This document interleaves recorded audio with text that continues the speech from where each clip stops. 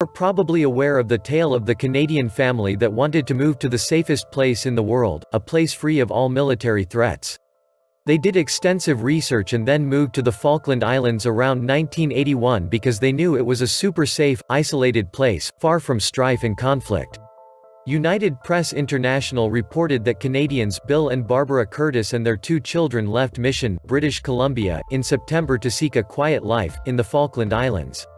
That didn't turn out to be a wise move at the time because shortly after, on April 11, 1982, the Falkland War began. The Curtis family, have received quite a bit of unwanted publicity about the irony of their chosen destination. I have learned that there are quite a few other tales of people moving to the wrong places at the wrong times, Guadalcanal in the Solomon Islands, just before World War II being one that jumps to mind for some reason. The point is, the safest place for any human is fundamentally unpredictable, as peace on earth can never be guaranteed. Human beings generally feel safe in our own house, in our own country with our own people and our own surroundings. But that is not the way we are supposed to live our life. The world is huge, and it poses numerous challenges and opportunities to excel in our life. Facing these challenges and winning is the best way to live our life. If you can find a country where the police don't feel they need to draw their guns every time they approach a parked car, then that's an indication of how safe that place is. If you don't need more than one lock on your front door, then that's a sign of a safe place. If people are friendly, helpful, and neighborly, then you've found a safe place. If you can go into a government agency and get help without bribery, then you are in a safe place. If you are in a country that isn't prone to having natural disasters, or if it does, there are sufficient support services to help you get over them, then you have found a safe place. If you are not afraid to travel on public transport or walk the local streets after dark, then you have found a safe place. If you have clean water and sanitation services, and adequate medical services, if you do get sick, then you are safe. It depends on what you need to be content and where you are in life. As we see in the news, there is no place on the planet where we are not subject to natural disasters or lunatics with guns and bombs.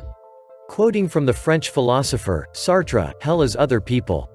For me, that would mean a quiet village in the mountains anywhere where we would still have Wi-Fi and not far from a mid-sized city, a place to live in peace, to read, to create. But in the case of global conflict or World War III, the safest places where to hide would probably be remote islands with no border or maritime disputes, low crime rates, relative stable economy, lack of internal, racial or political conflicts and not many fatal natural hazards. Some examples I would give are Svalbard Island, Greenland, Iceland, Madeira Island, despite that, some more populous places are very safe and include Switzerland and Luxembourg. New Zealand would also be a safe country, and Australia, very close behind. You want to think about strategy. Logistics always comes first. As well defended as Switzerland is, the oldest form of taking a defensive structure would inevitably destroy them. Switzerland is almost entirely dependent on imports for its food. There simply isn't enough fertile ground to support its population of 8.3 million. Do you want to beat Switzerland? Starve them. They can hide behind their broken bridge, rock-covered mountain roads, fallout shelters, and armed forces all they like. But without food, Switzerland is screwed. Without food, it wouldn't take more than a few months before Switzerland is forced to surrender. Australia has a massive natural advantage. Australia is surrounded by water.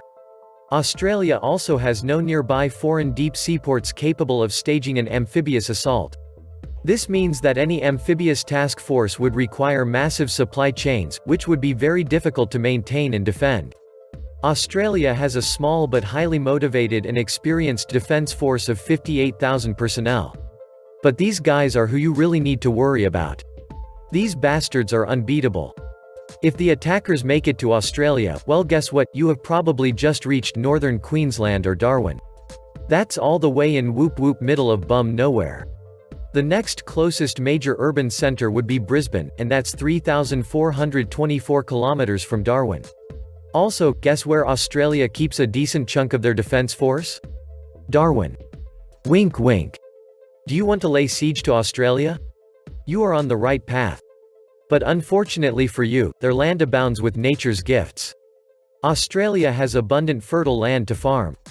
More than enough to be self-sufficient. As for nukes. Yeah, the country is so big that if you wanted to destroy all of Australia, then you would throw enough fallout into the atmosphere you would inevitably doom Earth. We all die in that scenario. In essence, to achieve a successful landing on mainland Australia would be a logistical nightmare. To capture anything important would require a miracle. New Zealand shares very similar characteristics to Australia. But New Zealand is even further away from everything else. New Zealand has a disadvantage due to their smaller size, but their distance factor makes up for this. Australia and New Zealand have enjoyed a very strong relationship since their creation, and getting to New Zealand would mean facing the wrath of the entire Australian Defence Force as well. Also, many people outside of the Commonwealth don't even know New Zealand exists. New Zealand is the most low-key country there is. And good relations with pretty much everyone helps New Zealand quite a bit. The New Zealand government already understands their defensive position, which is why they have a tiny defence force of 11,440 personnel, but their measure is similar to that of Australia's Defence Force personnel. Finally, to emphasize the effectiveness of the Anzac forces, I'll leave this quote. If I had to take hell, I would use the Australians to take it and the New Zealanders to hold it, said Erwin Rommel. And how about Iceland? It is undeniable that Iceland is one of the safest countries in the world, with a remarkable reputation, having been ranked first on the list for 10 consecutive years. With a very low index of Global Security Index of 1.111. Iceland has a very low kill rate and a very small number of inmates. In addition, as an archipelago, it makes Iceland no problem with any country as it has no boundaries. So this country should be on every prepper's list. Iceland is hundreds of miles away from any other land, so it shouldn't be a target in a World War III scenario. What's more, it's a great spot for fishing, so survivors would have an abundant food supply to keep them going until the world is rebuilt. Iceland is a safe and beautiful country, which could be a lifesaver in the event of World War III. The Isle of Lewis. This Scottish island is self-sufficient and situated three hours away from the mainland. Simply put, it's a nice enough place to live without attracting any attention to yourself. Antarctica. It may be a bit nippy, but in a worst-case scenario, you'd probably be safe if you managed to carve out a life in the continent's barren wastes. Another frozen destination, the continent's harsh climate, means it's hard to survive there but also not a target. Yukon. One of Canada's most remote regions, the Yukon province, is well off the grid. To make matters even better, it's a mineral-rich area that is jam-packed with wildlife, meaning you could get rich and eat well whilst waiting for the apocalypse to blow over. Guam. An easily defensible island with a strong military presence, Guam is a wise place to hole up if you want to survive a worldwide conflict. Tristan da Cunha. This British collection of islands is one of the remotest places on Earth and is a top fishing spot, I cannot think of a better place to spend the end of the world than on a stunning island paradise in the middle of the Atlantic Ocean.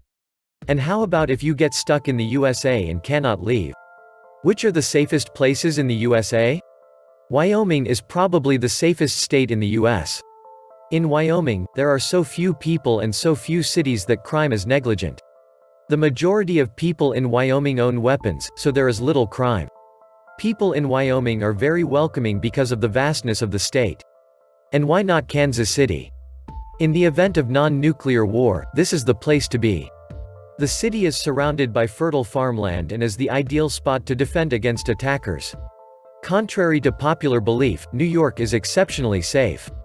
Any city really, if you go into the countryside you're much more likely to get shot.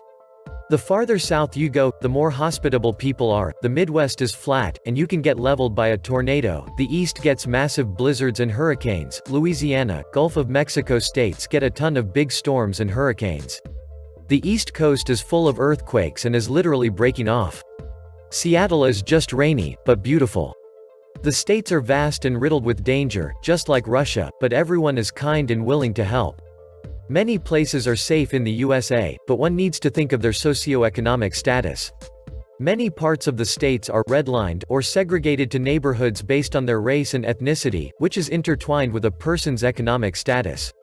Also, don't let the gun violence issue freak you out.